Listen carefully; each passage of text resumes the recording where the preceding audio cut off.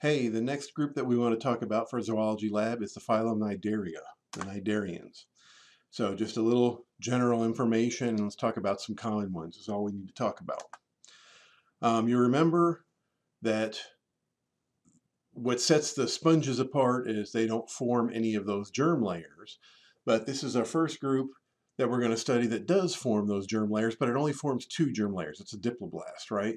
So um, you only form the endoderm and the ectoderm, but no mesoderm.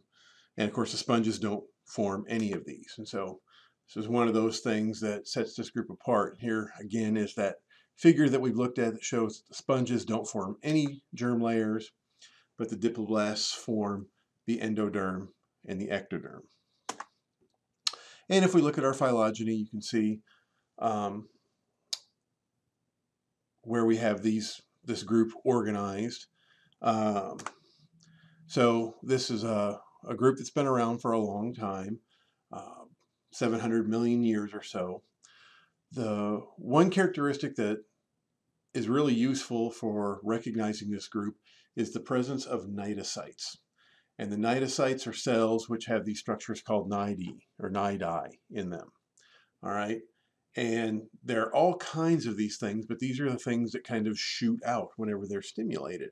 And so sometimes they have sticky ends for capturing prey, or they have sticky ends for holding on um, so the cnidarian can hold in place. And then sometimes they have venom on them. And those are called nematocysts. And we talked about the nematocysts before. And these are the things that are found in, in organisms like jellyfish, um, hydra, uh, sea anemones, uh, any of these that can sting you and it hurts pretty bad. And so this is just a generalized picture showing a hydra and where you would find these nematocysts within this cnidocyte. Uh, so the cnidocyte is the cell and the nematocyst is the stinging thread that's inside that cell.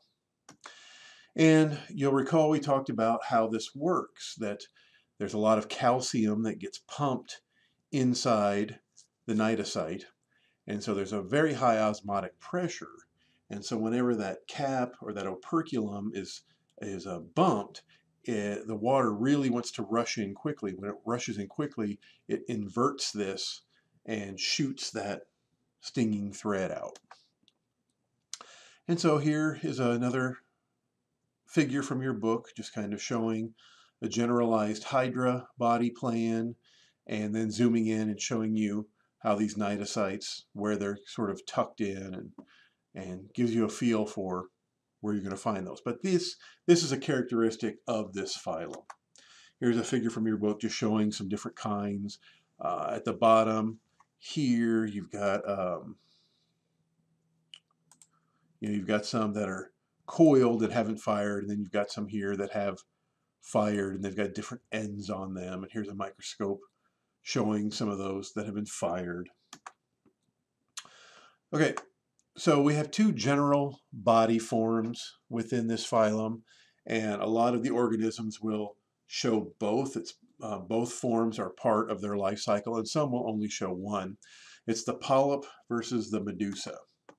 And so the medusa, you know, think of the hair, uh, the head with hair of snakes. That's the medusa type. And typically when you think of a jellyfish, you're thinking of the medusa form of the jellyfish. And then the polyp type is the sedentary, and it's sort of the same shape but flipped upside down and stuck to the bottom. And so you think of a sea anemone or something like that. And like I said, most of our cnidarians are going to have both of these forms somewhere in their life cycle.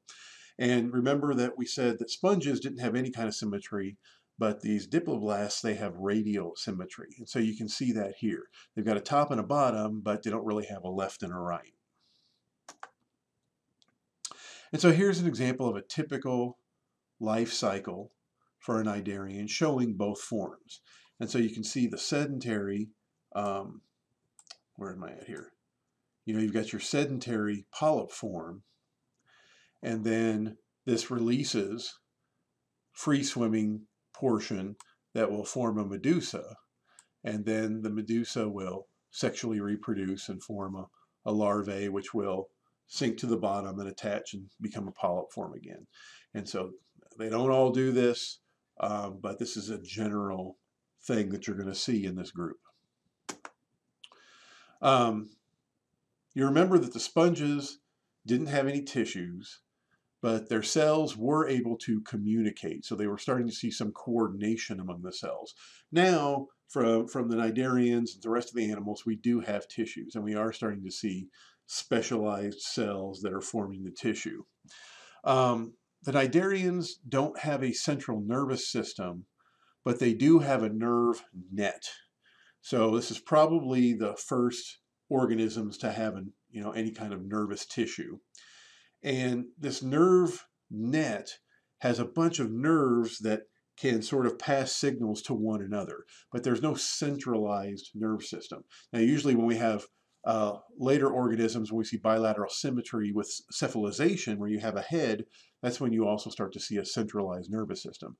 But these guys just have this nervous net.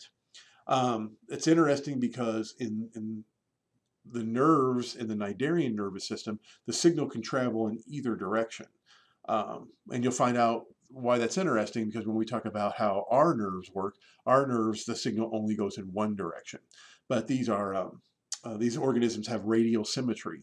And so having a signal that can travel in either direction is probably an advantage to something that doesn't really have a left or a right. You know, direction is kind of, doesn't have as much meaning to them or doesn't mean the same thing to them as it does to us. Um, what's interesting is you can see remnants of this nerve net in like our digestive system. And so if you look at the um, intestines of a human, you're going to see this net of nerves that controls um, you know the muscles and controls the peristalsis that's within your digestive system. And it's not really um, as much connected to the central nervous system as it's just this net of nerves that talk to one another. And this is probably um, you know a remnant of our early ancestor with the Cnidarians. Okay, um, just going to show you some typical examples. Many of these are organisms with which you are familiar and should be pretty easy for you when you recognize these to, to recognize what they are and, and that they are in the phylum Cnidaria. Jellyfish are the first example. Um, and here we're showing the medusa form, which is pretty typical of what you're going to see. A lot of these jellyfish, of course, um, the have both forms, and this is what this figure from your book is trying to show. It's trying to show that that Medusa form that we're most familiar with is just one part of the life stage of most of the jellyfish, and that they do have uh, a polyp form as well that um, uh, is sedentary and grows and then releases the Medusa form. Here's a really interesting one, the Portuguese man o' war. Uh, again, these are you know really dangerous. They've got a really strong sting. It's got maybe a neurotoxin on it. Um, and so this is swimmers are very aware of these things. This is actually um, not one organism, but many organisms existing in a colony. And so again, we're back to that theme that we've been talking about. We've been talking about like, you know, individual unicellular organisms that live in a colony and sort of coordinate. And then we talked about, uh, you know, the sponges and You've got these cells that, that don't really have a tight relationship, but they do coordinate, but they're not individual organisms. They're cells of the same organism. And here you've got like different organisms and you've got both the polyp and medusa forms, and they're living as a colony to form this one sort of large um, mega organism. It's again, this is why biology is so cool. It's fascinating, all the different kinds of life that are out there. But this is just another Cnidarian. You see it's got this big um, crest and this uh, big bladder that allows it to float at the surface. But, um, uh, you know, those tentacles that hang below have the nematocysts on there. And so if you were to rub against this, you'd get a, a pretty nasty sting. I believe there's been, you know, evidence of a couple people that have gotten killed by these things. Uh, okay, sea anemones. Again, something that can be dangerous if you brush against it. It's got the stinging nematocysts. Um, but here, whereas the jellyfish, we, we most commonly think of the medusa form, the sea anemone, um, you know, we, are mostly familiar with the polyp form, which is what we see here. Um, and so you've got the tentacles that point up and the mouth in the middle. And this is just a figure from your book kind of showing you a cutaway and show, giving you a feel for how these things are designed. And so you've got the blind gut that we talked about. So you only have one opening, and, and food goes in that opening and wastes leave that opening. Um, and you've got the tentacles that have the stinging nematocysts. Now you would think something like a sea anemone, this polyp form, to us would appear to be pretty sedentary, um, but they are able to move. And here's a, a, picture from your book of a starfish trying to attack a sea anemone. And the sea anemone, like, I guess you couldn't call it running away, but getting away. So they're not completely sedentary. They do have the ability to move. Um, obviously, they don't move all that well. Um, of course, here's a clownfish that has a symbiotic relationship with sea anemones. Uh, this is a, you know, a popular uh, fish in a popular relationship. And so the question becomes, how can this clownfish live amongst those tentacles if they do have those stinging threads? Um, the most likely explanation is they have a much thicker mucus coat. And so although they get stung, it doesn't penetrate that mucus coat. And that's how they're able to tolerate uh, living, you know, amongst the tentacles of the sea anemone. Um, the sea anemone benefits because the um, the fish, you know, uh, aerates the water, brings fresh water in, which probably brings in fresh food. As the fish eat, it probably drops food in there, so it probably improves the water quality and gives the sea anemone some some food. The the fish benefits because it's a very protected place. You know, other predators aren't going to be able to come in there because they will get stung by the sea anemone. But uh, it's probably that mucus coating that the clownfish has. Um, corals are also found in the phylum Cnidaria. Um, and here's some beautiful examples. And again, this is one of those things where at first blush, you don't realize that it's an, a living organism well enough. It's an animal. But if you kind of look at a coral up close, it makes a lot more sense. And if you look at this figure from your book, you can see the similarities with sea anemones, right? It's a polyp form, and uh, you can see the, the general shape of the living coral is very similar to a sea anemone. And just what's different is that they secrete this hard exoskeleton. And so they take in calcium carbonate from the water and excrete this hard shell and then at some point the organism dies and the soft gooey inner part you know dissolves and, and decays but of course the hard shell is left behind and then new corals will grow on top of that and that's how you build a coral reef so a coral reef is is a very hard structure but it's the leftover exoskeletons from these corals which are in the same um, phylum now we talked about corals before and we talked about their symbiotic relationship with um, dinoflagellates. And we said that uh, you know, one of the things that we're starting to notice more is that as the planet warms up and as the water warms up, this stresses out these corals. And it's probably part of their immune system response when they get stressed as sort of a last ditch effort to try to keep themselves alive. They expel their dinoflagellates.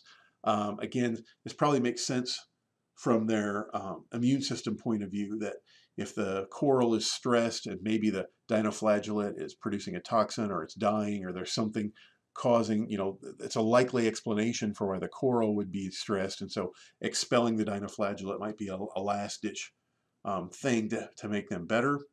Um, but of course, it's a symbiotic relationship. They need those dinoflagellates.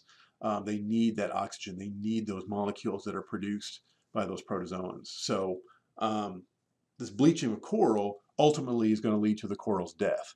And this is something that, that scientists are concerned about, that the warming water, you're seeing a lot more um, dying coral. And the coral uh, and coral reefs are incredibly important to the diversity of organisms in the ocean. These are biodiversity hotspots. And so when the coral dies, then lots of other organisms go with them. Okay, um, so up to this point, all our examples have been um, marine animals. There are some freshwater cnidarians. For example, there's a freshwater jellyfish, which, believe it or not, we can find here in Kentucky. Now, it's not supposed to be here in Kentucky. This freshwater jellyfish that I'm showing you here is originally from China, and it is um, you know an alien species here in Kentucky, but it can be found here in Kentucky. And there are some other, a few other um, freshwater cnidarians like Hydra that we're going to look at in lab. And so we do have some of these in Kentucky. Okay, that's just a brief intro to the cnidarians. Let me know if you got any questions, and we're going to look at a lot of these in lab this week. See ya.